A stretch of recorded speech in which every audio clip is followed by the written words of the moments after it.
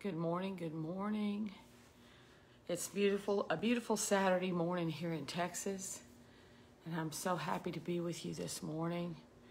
And I'm not going to I'm not gonna pray, but about 15 or 20 minutes because I have to get in the car and head to uh, Beaumont to minister to some ladies this morning. So I'm gonna really try to stay within my time today, if I possibly can. So we're gonna get right, right to it this morning. Now, listen, ladies, uh, as you're as you're signing on, there will be uh, at the top of this broadcast is going to be uh, uh, the three words I talked about yesterday: join, subscribe, invite, and give. Join, subscribe, invite, and give. It's it's a text messaging system. It's going to allow you to get updates uh, from Jenny and from myself. Um, all through the 31 weeks that we'll start December 31. I'm sorry, December 3 through 5th, which is the Crown Conference, and then we're going to go for 31 weeks. We've got a plan for 31 weeks. Now, there'll be a plan after that, but that's what God's given us right now. And if you join this text messaging system, then this allows you to kind of stay abreast of what of everything that's going on. We're not going to flood your text messages, but it will keep you up to date. So there will be instructions for how to join that and then we were asking you to, to subscribe to uh, Bob and Jenny Donnelly on YouTube and to me, Callie Shipp Gray, on YouTube. And then, of course, keep watching us on Facebook. We're going to start running um, our programs on multiple platforms at the same time coming this next year. Uh, we don't know what's going to happen with censorship, so we're just trying to be safe. I also have another link that's going to be involved at the top of this. At the top of this broadcast, it'll give you all these instructions. That is just my Mothers of Zion email list, and you can just put all your info in there, and then I can send you emails or send you text messages or let you know things that are private that I don't necessarily want on the public page. So this is going to give you an opportunity to keep up with what's going on. So all of that instruction, because I don't have a ton of time today, will be at the top of this broadcast. I want you to go on and share the broadcast and say, pray with us now or pray with us on replay. God is healing the heart and soul of America. God is healing the heart and soul of America. There's there's two things that I felt led to pray about this morning. Uh, First of all, I want to just spend some time, get your communion ready. There's 230 of you on this morning. Get your communion ready. And I, I want to start with communion today. So I'm going to give you a little time. And I'm just going to pray blessings over you while you're getting your communion ready. Lord, I just thank you for 238 beautiful, beautiful women today. I thank you for 238 women that are set aside, that have set their lives aside to totally surrender to your will, purpose, and plan. I thank you for women that that will fight uh, in the spirit of prayer. That's how we fight. We fight in prayer. We we fight on our knees. And God, I thank you for women that are laying their lives down to fight where it counts. Not we don't fight flesh and blood, but we fight in prayer. And so, Lord, I thank you for all of these women. I can't imagine uh, any of our lives without your direction, your wisdom, your encouragement, your strength. You you show us, you help us, you navigate life with us, you you correct us, you heal us, you give us your perspective. And Lord, we just honor you today. We honor, we thank you for every blessing. We thank you for every uh, time of correction.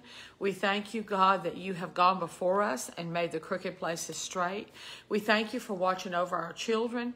We thank you for the lawsuit breakthroughs that we had this last week, God. It was just, your goodness is beyond anything we can even imagine. Your goodness is, and your mercies are new every morning, and we just thank you for it. So, ladies, get your, get your communion ready. Lord, I thank you for this cracker that represents your body. I remember what you did on Calvary, and I ask you to wash me and cleanse me and purge me today. I ask you to wash my family, my children, our church, my spiritual children, God. Anyone that's connected with me, I ask you to wash us and purge us. I ask you to wash and purge our nation. We thank you, Lord, that you're already doing it. We give you praise and glory and honor. We give you high praise. We give you praise from the deepest parts of our soul for washing us and cleansing us and washing this nation and bringing this nation to front and center and to holiness in Jesus' name. We thank you for your blood, Lord. Your blood washed me, cleansed me, made me whiter than snow. Your blood is flowing even today, God, and we thank you for your blood. I pray, God, that your blood would flow over every lady that's on this broadcast, all 278 of us this morning, that your blood would flow over them and wash them whiter than snow that your blood would make everything correct. God, we ask you to let your blood wash over our families, our marriages, our businesses, our children, and our nation, our states, our local government, our state government, our national government. We ask you that your blood would flow over this 2020 election and that it would wash everything whiter than snow and that your will, purpose, and plan would be done. And God, we stand on that today. We stand on that today.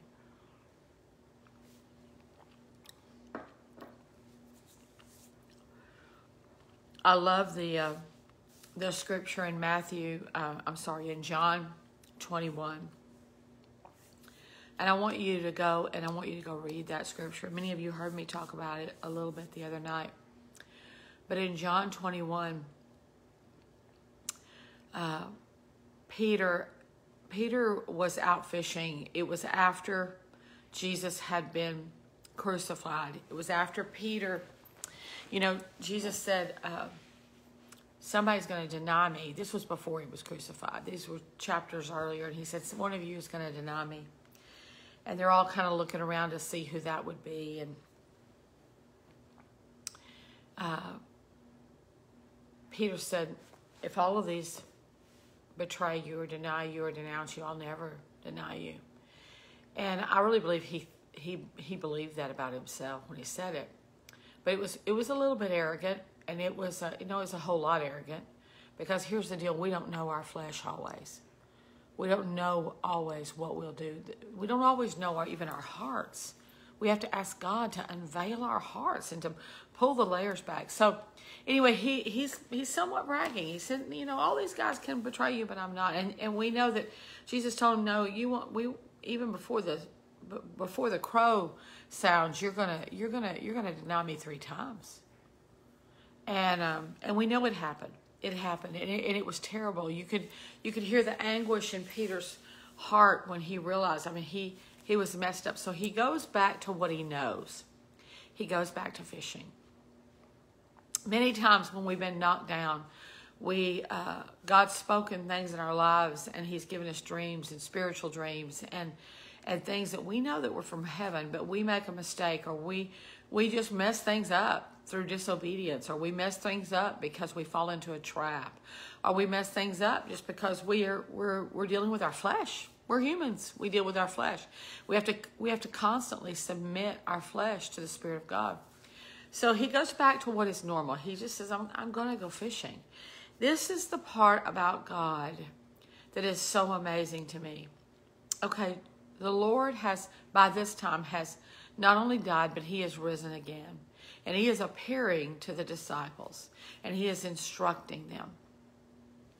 And he is giving them instruction for them for the rest of their life. And he is he, these are these are the 12 men that are going to carry the gospel to the whole world. These are the 12 men that are going to write the Bible. These are the 12 men that God is going to use to really set up the cornerstone for everything that we have, we believe and we have received. So he shows the Lord shows up on the beach making frying fish, just cooking fish.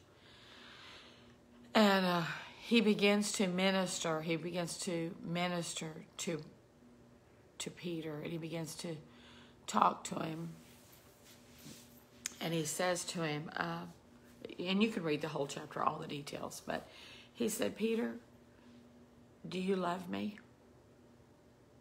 And Peter said, Peter's not as arrogant this time. When you start looking up the meanings of love, he said, I, I love you. I, I, I love you like a friend. I, I love you, but I'm not sure that really what he was saying is, I'm not sure I loved you the way I thought I did, or I would have never done this. I'm so ashamed of what I've done. But he says, Yeah, I love you. Then he said, Feed my sheep. And then he asked him again, Peter, Peter, do you love me?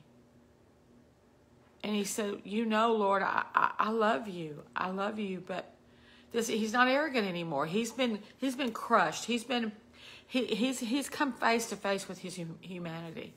He said, Lord, I love you to the best of my ability. But but evidently there's some things in me that are twisted or I'd have never done. I mean, he, this is not something he said, but it's implied by the interpretation of the love. And he said, You know I love you. And then he said, Feed my sheep. He said it three times. And then he said, Peter, do you love me? And he said, Yes, Lord. But do you love me more than all of these? Remember and my husband brought this to my attention. He said, when he was in the upper room, the Lord said, someone, one of you is going to deny me. And Peter said, I won't deny you. All these may, but, it, but I'm not going to. And then he went right out and did it. And then the Lord said, but do you love me more than these? He said, Lord, you know. I, I, I love you, but I, I don't I don't trust in me anymore. I don't trust in what I say anymore necessarily. I don't trust in my flesh. I trust you and I love you. Then he said, Feed my sheep again. Feed my sheep again.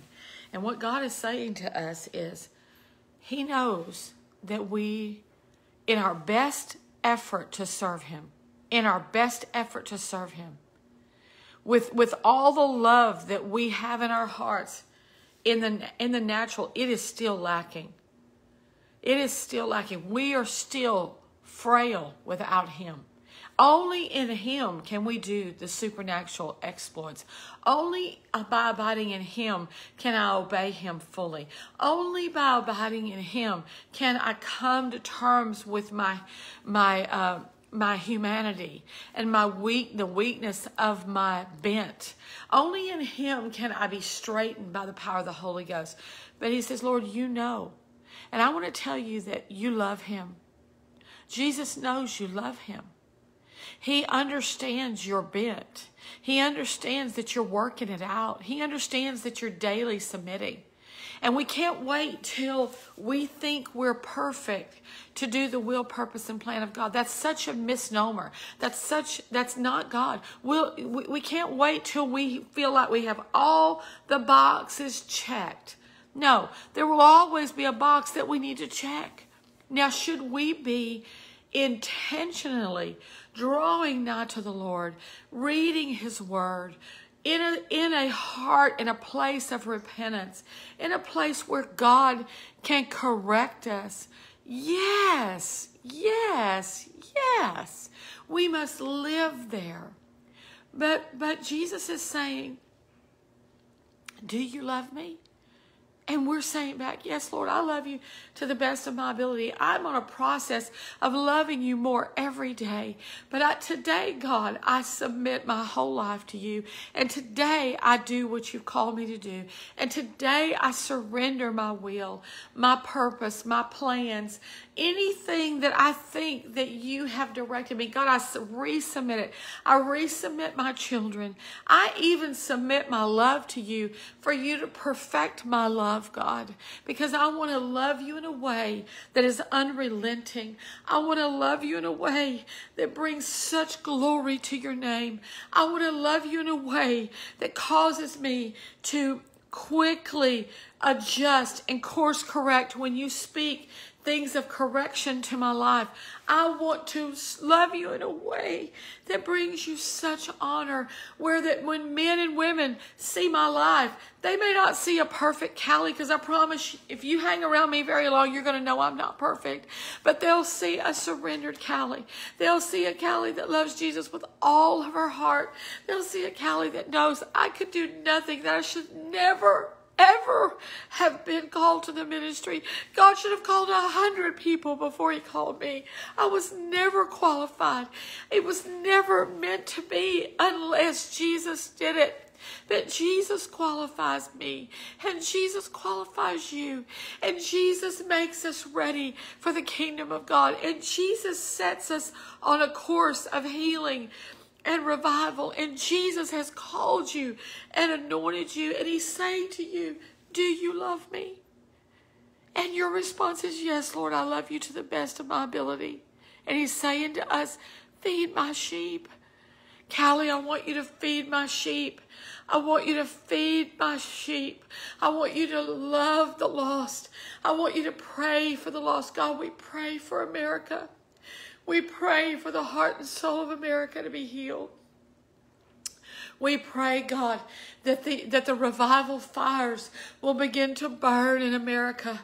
That revival fires will begin to burn in America. That revival fires will begin to burn in our families and in our homes and in our marriages and in our uh, desires and our ambitions. Now, listen, ladies, I'm going to give you a few words of encouragement. We have been called onto the battlefield. We are called for such a time as this. We are a part, we are a part, and I want you to write this we are a part of a million Esthers and Deborahs that have been called to pray, fast, and seek God for, for the third great awakening, which will result in a billion soul harvest, billion, a billion soul harvest of men and women being saved, healed, delivered by the gospel. We are called to to, to call women to come into this movement and pray with us and fast with us until Roe versus Wade is overturned, until the witchcraft spirit in America is completely broken and dismantled, and a million women rising up declaring holiness and revival and prayer across this nation. We are called, and we are called to call those, those other women to come into the movement. That's what we're called. And at the top of this broadcast is going to be all the instructions on what you can do and what I can do and how we can invite people in. And I want you to take the time to read it. We are called, you are called. But we are also called to forgive ourselves and to let our past go and to know that we may be a ragtag group. We may be like the 12 disciples that God built his church on, that they weren't really much to speak of in the way of the world but your voice has a ma- has has power and your voice has been called and by the time God gets through with you God's going to build his kingdom on top of your obedience God is going to build his kingdom on top of your surrender. See, your surrender and your voice, your surrendered voice, your surrendered life, and your surrendered prayers is more powerful than any army on this earth. Your surrendered voice has the backing and the authority of, a, of the angel armies in heaven. I hope you're hearing me. Your surrendered voice has the backing and the authority of the angel armies that have been sent from heaven.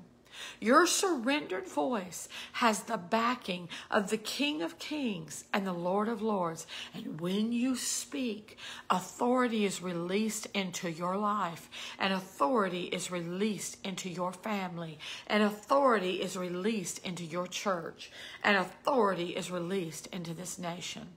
I love you. The hand of God is on you. You are going to do great exploits. You are called for such a time as this. Pick up your sword, ladies. Pick up your sword. Pick up your torch run into battle. We don't back down from battle. We run straight into it. We are not on the defense. We're on the offense. I'm going to ask you to shore up your marriages. I'm going to ask you to shore up your families. I'm going to ask you to ask the Lord to show you any area where there's a crack in the wall, where the enemy, listen, this is no time for us to be sloppy in our marriages. This is no time for us to be sloppy with our language. This is no time for us to be sloppy in our con- consecration. This is no time for us to be sloppy with, with our friends or with our children. We must ask Holy Spirit, guard my mouth, guard my mouth, set a watch on my mouth. We must be really tender hearted and really submitted to the Lord. Take the time. Listen, we've got a call and a mandate, but our first call is to the Lord. And our second call is to our husbands and our children. And what I what I mean by that is take the time and and be intentional with your husbands and your children and your family. Don't let all that go to hell in a handbasket.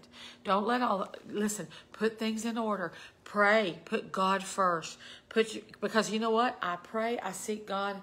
I'm a better mother. I pray. I seek God. I'm a better wife. I pray. I seek God. I'm a better grandmother.